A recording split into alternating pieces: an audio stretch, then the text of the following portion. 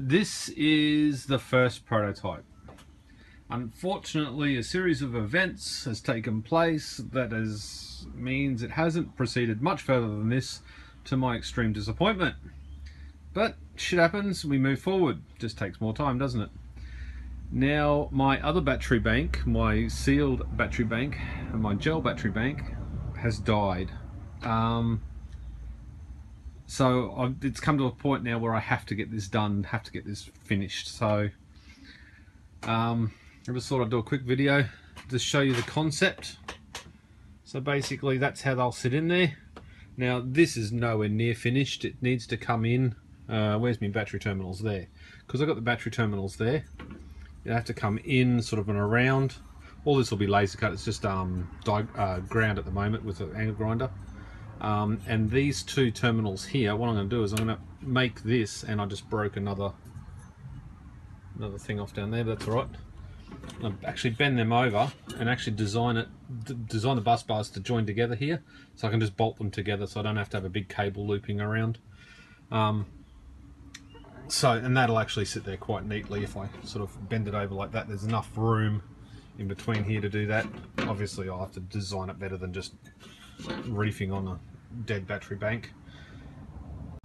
So that's a life-size version of the mock-up that I've done. This is for the AutoCAD. Um, basically, it'll sit there like that.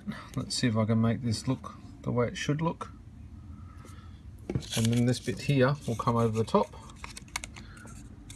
And the bit of steel, so this bit here will be slightly wider. So it actually holds it left and right.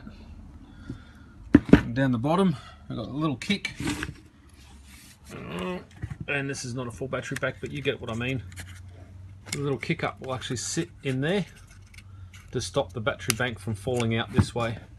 So that'll sit in between there as well, and it'll sit nice and neatly in between the 48 millimeters in between the batteries and the, the plastic mount.